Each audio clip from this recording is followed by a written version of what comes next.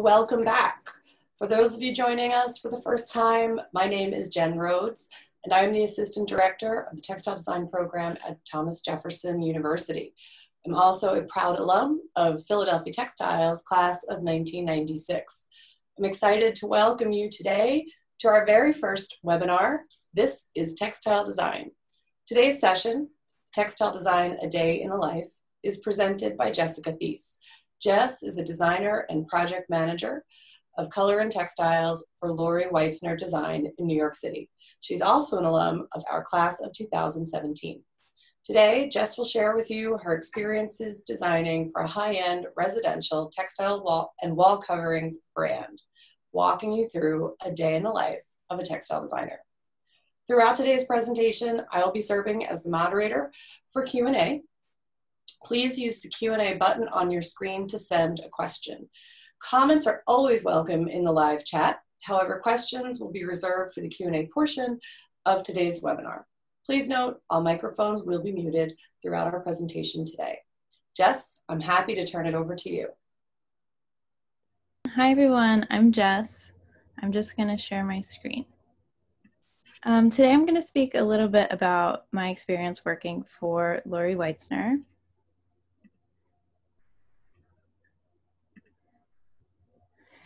So I'm currently a designer and a project manager for Lori. Um, that's our studio in Manhattan. We're based in Chelsea. Um, so I work on the textiles and the color work in the studio, and I've been working for Lori for about three years. Uh, for the first six months, I was a junior designer, and then I was kind of promoted into this role. Um, this is another image of our studio. As you can see, um, we organize everything in our studio by color, as uh, according to the books on the right side. Uh, color is very important to Lori, and she wrote a book about it, which I'll talk a little bit about later. Um, but we call it the White Box Sanctuary because uh, white is very important for us to have a clean working space and just be creative. Um, and this is one of our wall covering panels. A little bit about who Lori is. So Lori began her career selling textiles through Europe. Um, and then she became the design director for Lenor Larsen, who's a very well-known textile designer. Um, she's also designed products for Sacco, Estee Lauder, Calvin Klein. Um, and we have products housed in the V&A in London and the Cooper Hewitt in New York City. She's founded Weitzner Limited Wall Coverings, I would say about 15 years ago now. Um, and then that was later partnered with Pollack, um, which is another textile company. And since then, we also designed Weitzner Textiles.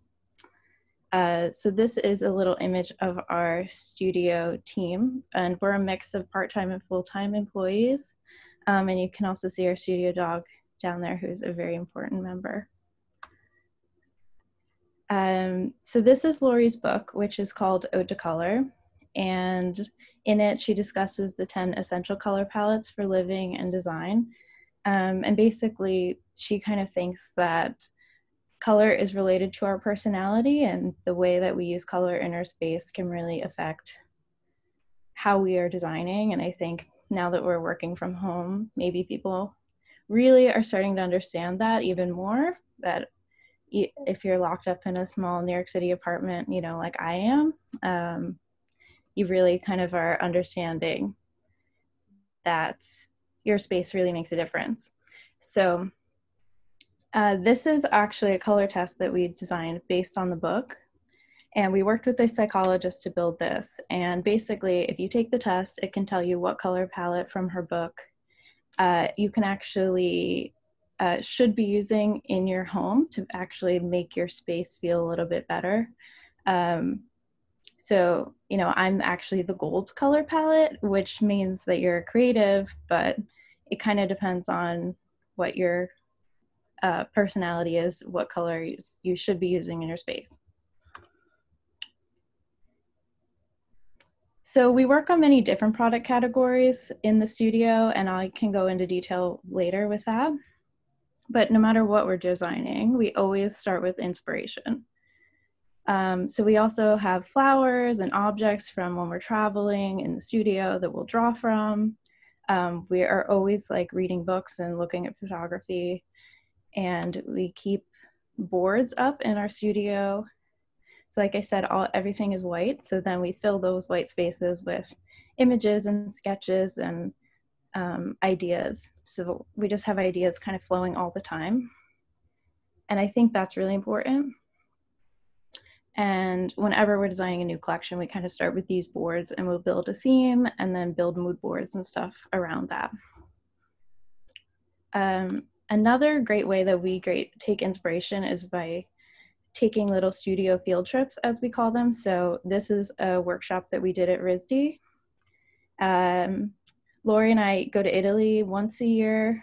Normally, we didn't get to go this year, but uh, we're uh, in Como, which there's a lot of textile mills that are still there, and we can look at products there and um, source products from there. And it's just a really good time to, um, you know, see all the different mills that maybe are not always visiting the U.S.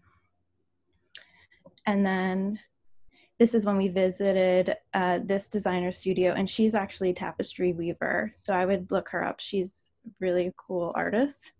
Um, this is when I visited a printing mill. Uh, they're down south, and they're weaving one of our digital prints. And this is called Aviary. And then we're always um, trying to go to museums, I would say like once a season. So this is at the Cooper Hewitt, and we're looking at Marguerita Mergentime's work, and she was a designer in the 30s. And then we went to the Color Factory, which is in New York. So if you haven't been, I would I would recommend going to that when things reopen. Um, and so once we we go on these trips, or you know, we're just looking for inspiration and have a theme, uh, then we'll come back to the studio and we'll actually get to create artwork. And this is such a great part of my job because I do get to do actual artwork in the studio all the time. Um, not every day, I, I would say, uh, but but every once in a while I do get to do that, and that's that's really fun. So we paint and collage, we make stencils, and we really have freedom to be creative and come up with new artwork, which then ins- inspires designs as we go forward in our process. Um, I think an important part of what we do is that we are collaborating with suppliers, like I said. So um, we'll have meetings with suppliers around the world. Right now, we're doing it via Zoom, which is a little hard fabric, but it is really nice in person. And they'll kind of bring their samples, and we'll get to pick from their samples. And I think the goal of that is for us to understand who can create what based on what resources and um, looms, etc., that they have. And then once we pick samples, um, then we'll develop artwork kind of based on what we think would look good in that kind of quality.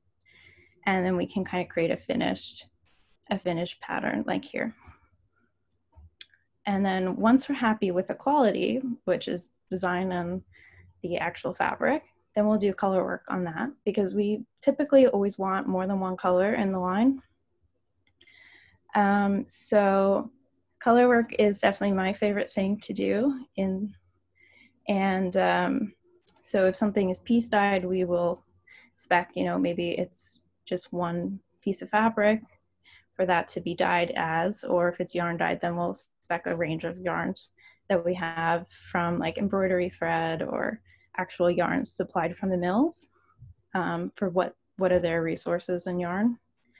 Um, and we have about 30 of these color drawers on the right side that we can kind of play with in the studio, plus a whole bunch of other samples and archives that we've collected. Um, and so if a pattern is more complicated, where it is uh, woven, where we're specking the warp and the weft of the colors, then we'll kind of create a color blanket. Um, so in this case, typically the yarns are supplied from the mill and then we will spec, I don't know, so many warp colors, so many weft colors, and typically we'll have like over 100 combinations that we will cut up in these little pieces, lay out on our big table, and pick from. and we'll you know narrow that down to three to seven colors probably that end up actually going into our line. So specifically, um, the main products that we design are for Weitzner. And I work on the fabric. And we are a high-end residential brand. And so we design the fabric and then our clients are interior designers and architects and they buy our fabric to use in their projects. Um, so this is kind of a selection of some of our draperies and upholsteries that we have in our line. Um, we launch two collections a year, and I do everything from helping the marketing team, doing the spec sheets, making purchase orders. Um, so it's not just design. Um, but since I work on a small team, I kind of get to do a little bit of everything, which I enjoy. Um, so here you can kind of see some of the artwork, which has been inspired into a fabric. Uh, this is a burnout and this is a digital print. So, and here, so this is uh, some of the yarns which became these fabrics here. And then this one is, uh, this was the original artwork and then it got printed here and kind of some of the colors that we spec for that. Then we have the wall covering part of Weitzner, and this is, you know, what Lori is really known for, and um, a really fun, innovative uh, product category. It is not the same as wallpaper. Wall covering is um, a bit more high end. Um, so this is actually velvet that's foil printed over. Um, these are handmade panels that um, are actually abaca fiber that's made into a pulp and then created into a design. And they have open spaces, so you can kind of paint your wall of any color and then put that over it. So it really is like playing with the space and kind of figuring out what designers can do with it. We've seen them put this um, in between glass and do really cool, innovative things with that. Um, and then these are like foil printed this is foil printed on a textile and this I think is on a grass cloth. So, you know, we just have a whole range of, uh, and I think we're always trying to figure out what is the new thing that we can do to kind of push those boundaries. Um, as so, this is a handmade uh, made of magazine strips. We're really well known for Newsworthy, which is handmade newspaper. Um, it's woven like newspaper strips. Uh, and that was maybe one of the first handmaids that Lori came out with. So uh, we also have clean vinyl in our line, and it's clean because the vinyl doesn't have any um, harmful uh, carcinogens in it. So this is good for hospitality use, and um, this is actually a mylar version, and you can kind of see some of the color work here that we spec for that. And this is fun because we get to go actually up um, to this supplier and run production about twice a year with them. Uh, so, and then on this side, you can kind of see actually one of the wall coverings being, being installed. So this is a digital print. And I think it's kind of helpful if you've never seen wall covering before to understand like how it's pieced together on a wall. And on uh, our top left here, we have our magnetism, which is a magnetic wall covering, which we have patented. Um, nobody can really do anything like it. It's this is a linen uh, ground, and then there's like a magnet behind it. So that's very cool to put in a space. Uh, we also launched a jewelry collection last year, I believe, and that has just been a really big journey for everyone because it's our Lori Weitzner company. We do everything from marketing, sales to the operations of the website. Um, and uh, that's me modeling in the pictures. So it's been really fun to design um, textiles into jewelry and really combine um, our love for fabric and embroidery and beading and kind of create a new product category. So you can kind of see some of the things we have here. We have earrings and bracelets and chokers. We have bags. uh, we just launched a couple bridal pieces. Um, that was like one of the original designs. So that's been a very fun project, and we will put the link to that later. Um, we also do licensing projects, so it'll be Lori Weitzner for another brand. Um, this, this, is for Samuel Sons, which is a trim company. Um, so you can kind of see. Uh, we'll come up with the designs and do the color work for them, and then it'll be marketed under their brand. Um, we do about one collection a year for them. And then here you can see some of our wall covering actually wrapped around lampshades. So this was a fun project that we did for Lux lamps. And then this is actually Samuel & Sons trim that Lori Weitzner did for them. Um, and there you can see the wall covering that's actually wrapped around the lamp. So you can kind of see how those can be used for so many different things. Uh, this was a rug line that we did for perennials and they're indoor outdoor rugs um, hence the little ducks down there. And when we do collaborations with clients like this, a lot of times we will kind of get to see samples and qualities that they already have of rugs, and we'll pick what we think will work compared to the artwork that we create. So you, this is the artwork that became this rug, and then we actually added an ombre to that, and this is the artwork that made that rug. So um, it's really a collaboration between us and these brands that we work with to kind of create a finished product when we're licensing. And this is a rug collection we did for West Elm in 2017. Then we uh, do a line of cards for Papyrus slash American Greeting. So these will still be sold in Target and uh, in other certain retailers now that papyrus is no longer. Um, but this is, I think, one of our favorite things to do because we actually get to draw the samples and then we'll embroider them and show them what kind of embroidery qualities we want the cards to be. We'll design like the inside of the envelopes and we'll pick the envelope color. So we really get to do everything in this process. And I think just spending a week like embroidering in the studio is the best. So that's kind of some of the original sketches for those. Um, and then we did launch a line in Papyrus last year based on the book. So these are two of the color worlds, Waterside and Garden Party.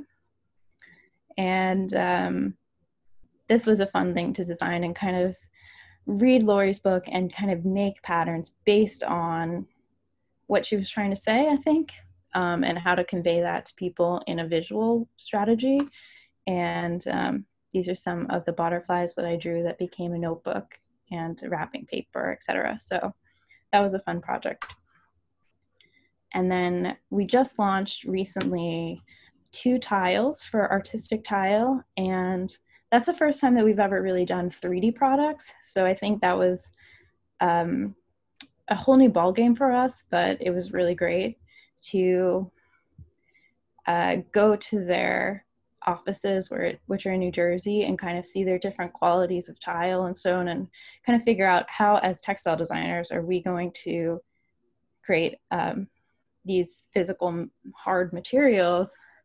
And you can see those are like some of the original samples that we did to try to translate fabric and woven tech things into something else and then we kind of scanned those and made designs from there. Um, so i think that was a challenge but we always want a challenge as designers i think to keep kind of pushing ourselves and expanding. So um, and then finally um, lori does consulting for various brands. So we work with hunter douglas all the time. Um, and we also work with reform. So I mostly help them with color work, or um, sometimes if they want to work with guest designers, we'll interview them and kind of work with them that way. So it's really good as to kind of see what bigger brands do in terms of their operations um, also. So thank you so much. I think I talked a little fast. Um, but that's my email if you guys want to email me. Um, we have our website down below, which is loriweitzner.com, and then these are our Instagram handles. Um, and loriweitznershop.com is the jewelry website if you want to go to that. So thank you. Uh, we currently have four questions in the queue. So to be fair, we'll start with the first one that came in. Jess, what about your role excites you and what keeps you coming to work day after day? Um, well, I think I never know what my my like email box is going to be every day. Things are always changing and always different, and you know we always are doing new projects. So Lori could say tomorrow, "Oh, we're doing a new rug project or something," and I think whenever that happens, it's go go go into the design process. Um, and I think that's the fun part is whenever you get to kind of bring together new ideas and create themes and pitch them to people and do the initial artwork is is always really good. Thank you.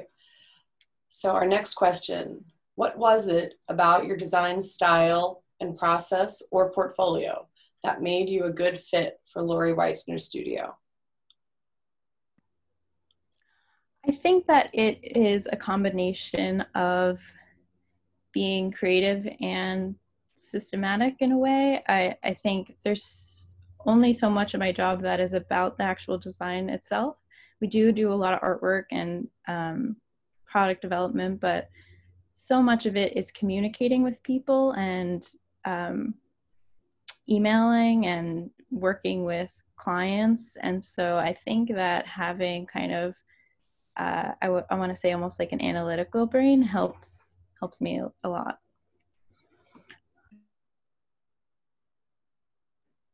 Thanks. We have another question here. Jess, how detailed do you need to understand the dimensions of the items you are designing the fabric for? For example, a pillow, a couch, a lazy chair, sheets, etc. Or can you create good designs without knowing these specifications? Or perhaps there is someone else on your team that does this. So what actually happens is we design everything to be about 54 inches and sell fabric on as a roll. So we never know what interior designers are going to use our fabrics for. So that's actually a really interesting question um, because sometimes we'll design an embroidery that we see as pillows and then people will use it as drapery or upholster it and um, you know, it's always a surprise to us, honestly, to see what other designers use our products as. Um, I do think it's easier, honestly, when we do have specific licensing projects where we are designing for uh, a specific shape or use, because you can kind of design for that end use. Um, so it's definitely a challenge to not have that most of the time.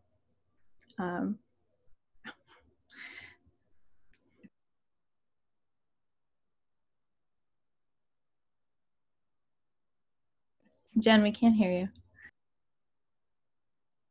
I had one of my Q&A boxes blocking the microphone, so I forgot, sorry.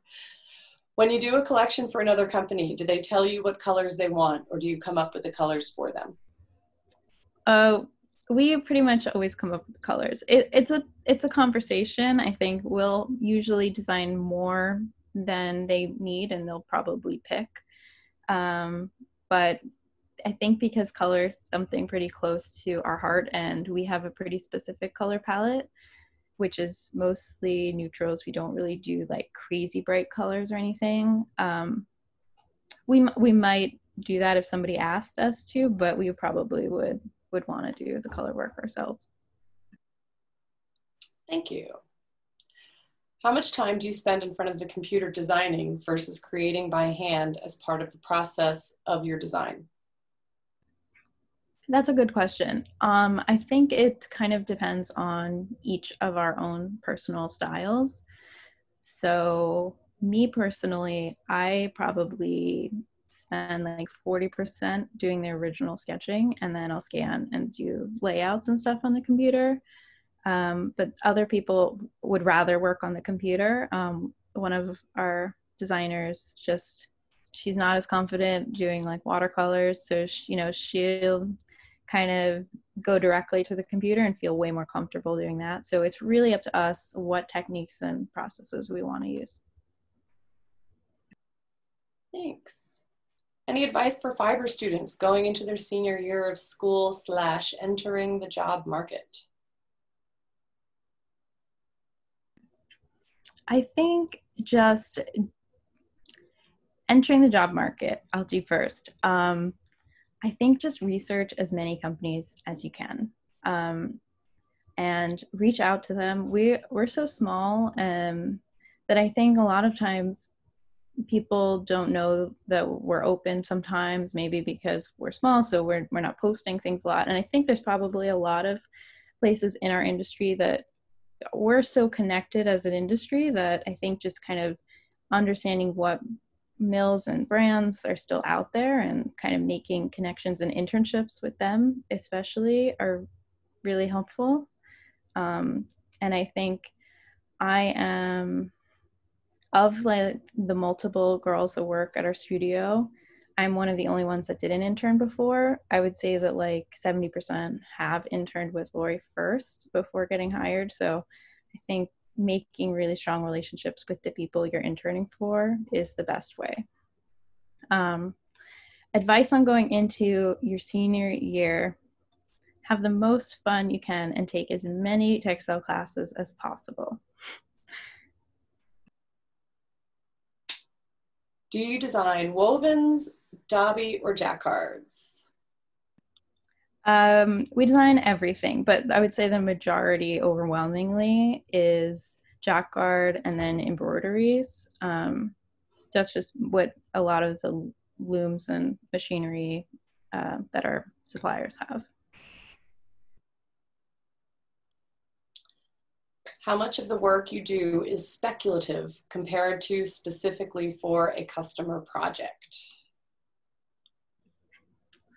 Um, I think it depends how busy we are. So I think we're usually um, pretty busy where we're on a cycle with Weitzner that um, if we're not working on something else, we'll kind of start designing for that probably um, because you never know when the next project is going to pop up and that could be in the middle of your cycle that you're supposed to be designing for Weitzner. So I think we're always developing artwork and ideas kind of in the back of our head for that. Um, but I don't know if we ever really have that much time to just design without a specific purpose. Um, but we also have an archive of artwork in our studio from past years of people that have worked there, Lori's artwork from years ago, past interns, and we always are referring to that um, when we need new ideas. We kind of go back to the archives. Thanks. So we have two questions that are somewhat related, so I'm going to ask them in combination. Do you design and repeat? What steps do you take between artwork and resolved textile design? And the related question is, what programs do you use to take the artwork from paper to being printed or woven? So we do uh, typically design and repeat um, for fabric wall covering um, and it depends on what the width of the fabric's typically 54 inches, but the wall coverings could be 36, etc. So we have to kind of take take those things into consideration. Um, and I we pretty much use Photoshop Illustrator because um, we're small, um, so we don't have like uh, bigger programs like NedGraphics, etc. Um, and I think that basically what our process is is we'll do hand sketches first scan those in and then we'll either kind of trace them into illustrator and kind of create more um, specific patterns that are a little bit easier to translate unless it's like a digital print. Um, and if we're doing that then we'll put that into photoshop and kind of create a layout the same way you would do in school. Thanks. All right, so this next question is a long one, so I'm going to just read it word for word. What do you think of companies such as Spoonflower that allow artists that may, not be textile designers to get their designs on fabric. Don't know how far these designs get through in terms of the larger world. Do you have to be trained as a textile designer to do textile design and be hired into companies of the industry? Um, so I, will answer the spoonflower part first. I think it's a good resource for people that want to do smaller things. Um, I don't know if that affects um, a different part of the market, but it doesn't affect our part of the market because our fabrics are a bit more um, higher end. Just to say, um, most of our stuff is like woven in Italy, etc. The type of fabric that you're going to get printed at Spoonflower is kind of different. Um, and I think most of our clients still shop directly um, through the industry rather than from con- consumers don't necessarily buy directly from us. So it, it doesn't really affect us. Um, you do you need me- you repeat the second part? Sorry. You have to be trained as a textile designer to do textile design and be hired into companies of the industry?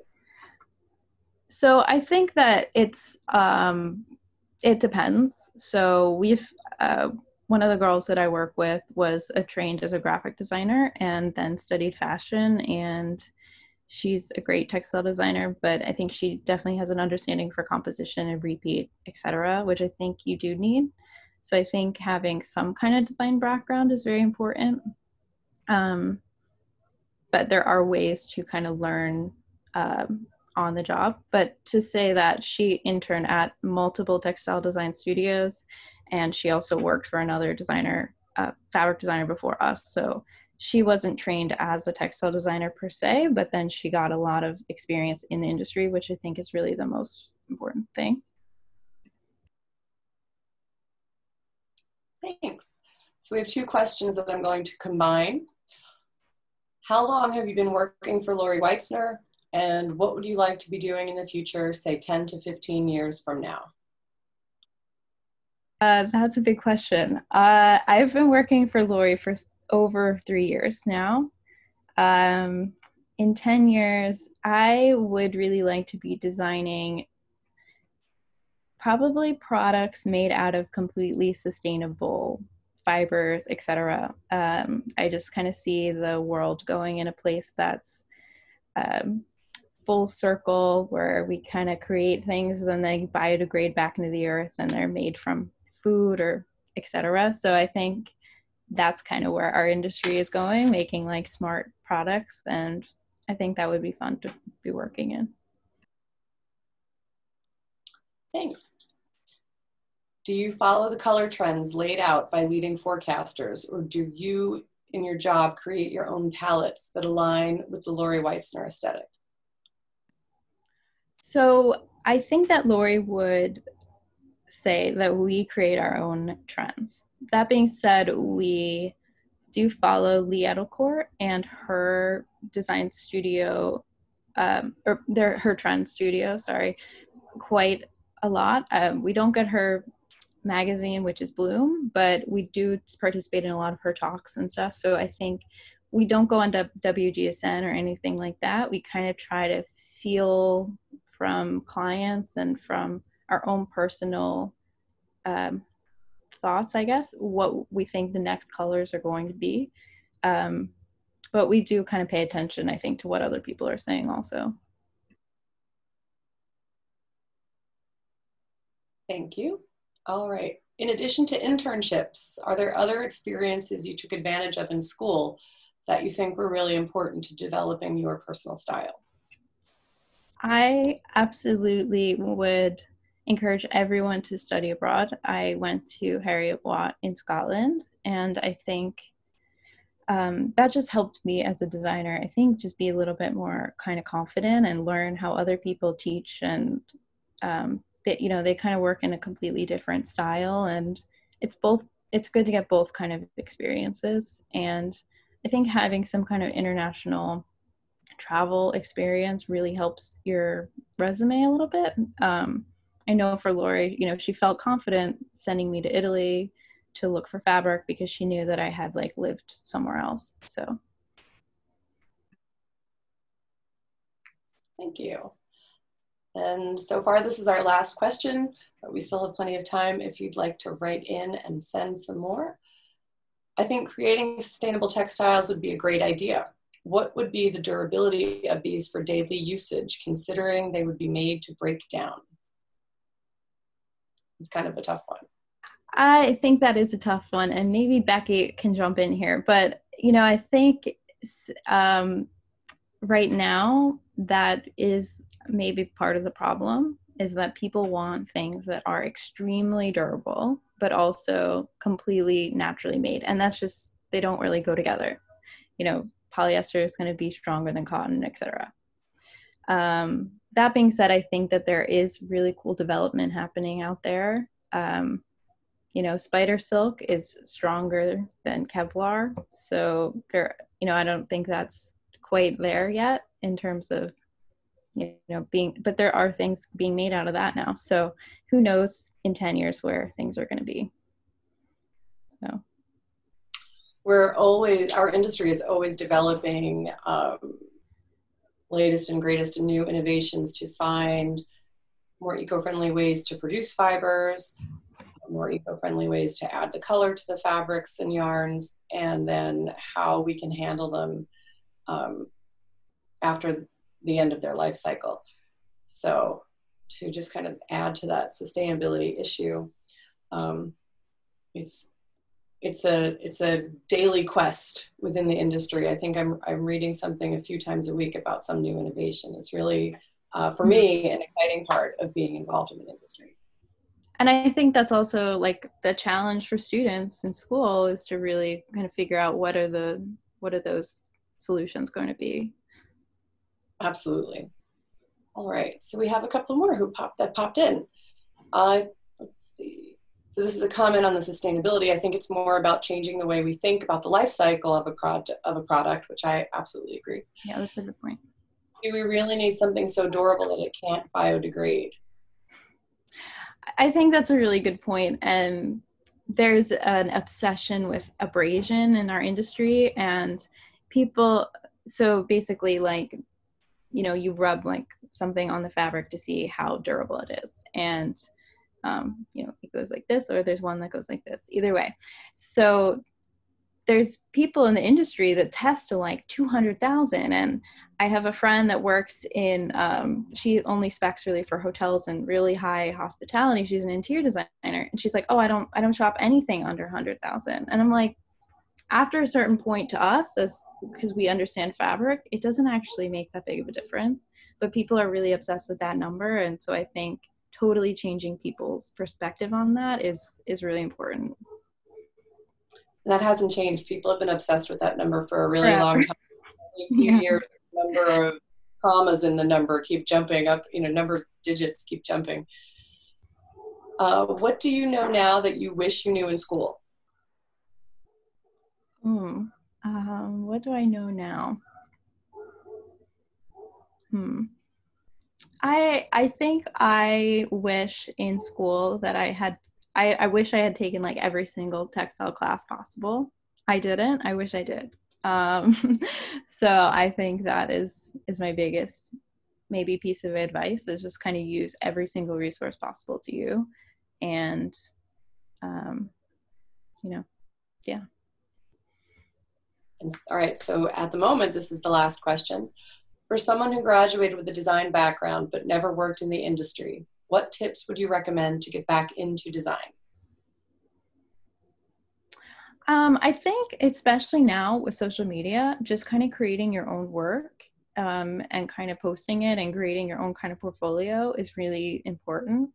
Um, and maybe even just reaching out and seeing like hey i'm looking for some kind of opportunity. Can i do work for you etc and see if people respond. I think you know doing freelance is a good way to kind of get your feet wet a little bit and get some more experience um, to people can want to hire you. Thanks. We have one more. How long are your typical days? For example 10 hours 8 hours 6 days a week Uh, we we are really good about working like nine to five, only Monday through Friday most of the time. Um, sometimes I'll go to trade shows on the weekends. Um, every once in a while, we'll work a Saturday if we have a studio event, or I'll stay late if I'm working on something um, with a really hard deadline. But that's kind of rare, honestly. So I think that's maybe the difference between fashion and interiors. So for for us, it's a little bit better. Are most of your customers in the US or abroad? In other words, is there an appreciation for fine fabrics in the US? Absolutely, yeah. So we have, so as I said, um, so Weitzner is actually partnered with Pollack, which is another textile company. And so all of our operations, our warehousing, our um, marketing, et cetera, is combined with theirs. Um, so our reps um, sell both of our collection and their collection, and they go to firms around the country. And uh, the majority of them are in the U.S. We do have show, and we're in some showrooms. So we're in some showrooms in Europe, in Hong Kong, and I think that's it. Uh, but the majority of them I think there might be one or two in South America, but the majority of them are in the US. So, yeah, definitely. How has the transition in pandemic been? Um, I think that it was a little hard in the beginning. Um, uh, not just us, but everyone I know, all collections were put on hold for six months, which was hard, but I think we're kind of back to normal now. So I think March, April, things were a little slow, but now things are are back to normal. I'm at home right now, but I've been starting to go in about two days a week, just because it is hard to look at fabric from here. So, yeah. Thanks. Can you speak to the role of critical feedback in your design process? How prepared were you for professional feedback after leaving the textile design program? Um, I th- I think it was actually pretty hard at first, um, and I think it's it wasn't necessarily that I wasn't prepared for feedback because we know you get feedback in school and you t- change things and you tweak things, but when you're designing for someone else, they're going to have a different aesthetic than you do probably. Um, so I think that kind of changing my mindset to not only design for what does Jess like, but what does Lori like what do our clients like? What do our sales reps want us to design because it's going to sell? Um, what can i design that fits into a certain price point for a cer- certain product category? That was kind of the thing that i had to kind of wrap my head around i think a little bit at first. Because um, the things you don't think about in school are what does this cost? And um, where is this made? And those kind of things are really important Thank you. All right, so last call for questions because I have no more waiting here on the list. Oh, here's one more. At your home, do you surround yourself with what you've designed or does your home include mostly what other people have designed? Do you do other creations besides textile design? Um, I would say it's a mix of both. So this is one of our fabrics I actually had in the presentation. Um, so yeah, my living room is full of Weitzner products also because we get samples and stuff, so we might as well use them. Um, I think that I am mostly a textile designer, and but I also have like paintings and stuff around that I've done or that friends have done. Um, so yeah, I, yeah, I definitely try to surround myself with artwork and fabric as much as possible. What's one thing you wish you learned in school?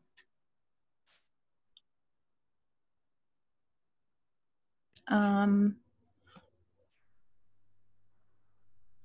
like about the industry specifically. Thank you for the qualification.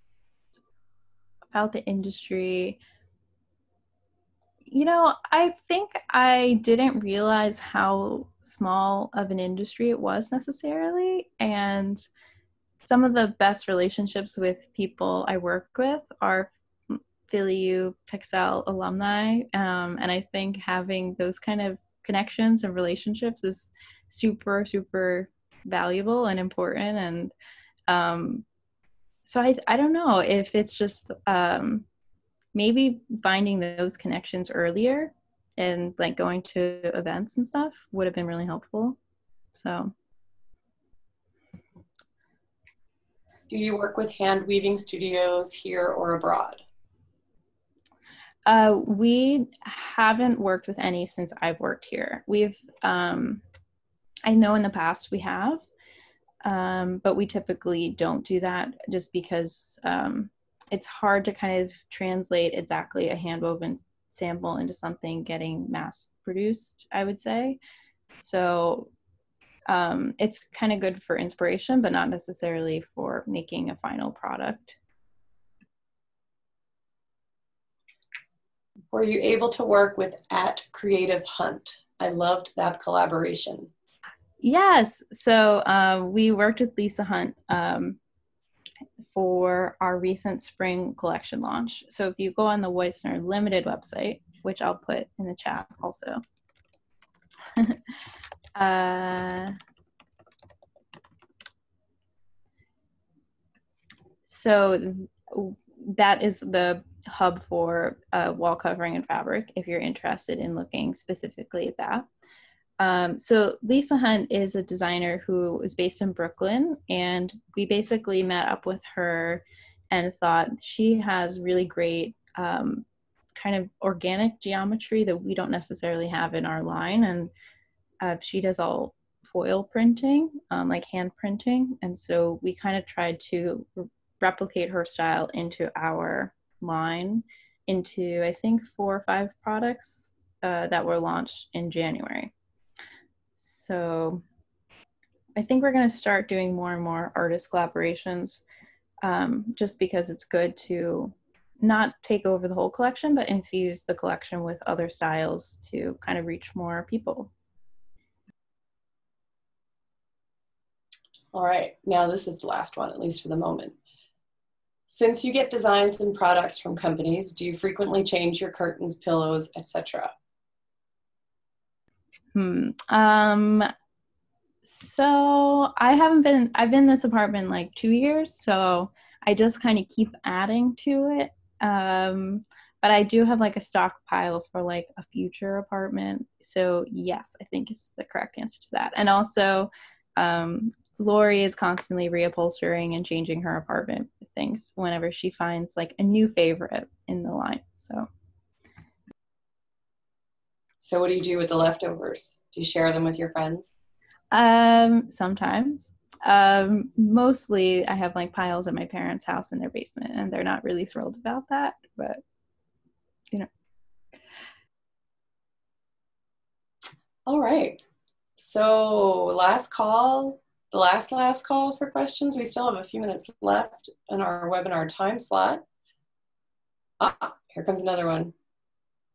No, you're, it's just a comment. Jess, your job sounds so fun. Thank you. Thank so you. I agree. Thank you so much for presenting for us today, Jess. I think we all really enjoyed it. Um, there's a lot of information shared in the chat window today. Uh, Jess, are you reading the chats now, the chat comments now as they're coming? Um, yeah, I'm looking at them. Definitely take the color test. It's super fun and really quick and easy. So, you know, just check that out. And can you see the Q&A now? So if somebody knows your coworker, Catalina, what a small world. We both went to FIT together. Oh, yeah, she's my best friend. And um, I hang out with her and her dog a lot. So. well, Again, thank you, Jess. It was most enjoyable. And thank you, everyone, for joining us today. We hope to see you again tomorrow at 4 for our fourth installment, Straight to Paint, with our rising junior undergraduate, Julia Foster. Like yesterday, tomorrow's session will be a hands-on workshop, so get your paints ready. Um, there was a request for a materials list earlier in today's session, so we'll try to get that together and we can post it on our social media accounts to share that information. As always, the best way to learn more about us is to visit our spaces on campus. in these uncertain times, that's not possible. So follow us on social media at Textile Design at Jefferson. By following us on social media, you also learn about our upcoming events. You can find links to sessions of this webinar and a lot uh, more information about that alumni doom session that's been such a popular topic for the last two days. So, or feel free to email me directly at jen.rhodes at jefferson.edu. Thanks again for watching and have a great evening. Thanks.